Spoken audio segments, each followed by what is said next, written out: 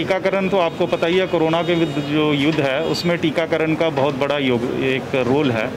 अगर हमारे ड्राइवर और कंडक्टर्स को टिकट लग जाएँगे तो उससे ये होगा कि जब ये वाहन चलाएँगे और इनके साथ जो सवारियाँ चढ़ेंगी और उतरेंगी,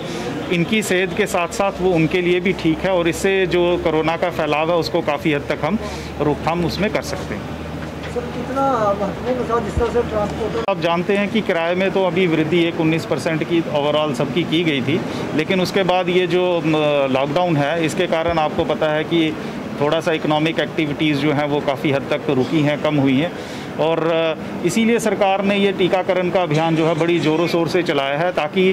पहले हम ये टीकाकरण का कर सकें और उसके बाद जो है वो शायद जल्दी ही अनलॉक की प्रोसेस जो है वो शुरू भी हो सकता है। सरकार इस पर भी विचार कर रही है और जैसे ही वो शुरू होगा तो उसके बाद सारी इकोनॉमिक एक्टिविटीज़ में रिवाइवल होगा और सबको उससे रिलीफ मिलेगी। सर मेरा सवाल ये इसमें तो हर एक सेक्टर को जो है वो कोरोना के कारण तो हर एक सेक्टर को नुकसान हुआ था।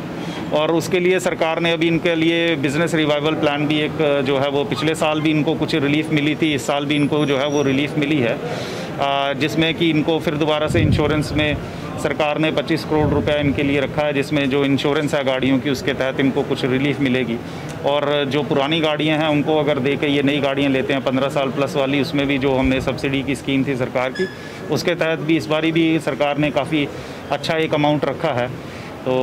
ट्रांसपोर्टर्स को रिलीफ तो दी जा रही है, लेकिन ये है कि ओवरऑल सारे ही सेक्टर्स को इसमें थोड़ा सा प्रभाव तो कोरोना का पड़ा है, ये तो आप सबको पता है, इसमें तो कोई छुपी हुई है नहीं। लेकिन उम्मीद की जाती है कि टीकाकरण के बाद एक्टिविटी बढ़ेगी और उसके बाद जो है, जो लॉसेज हैं वो रिकवर हो जाएँगे।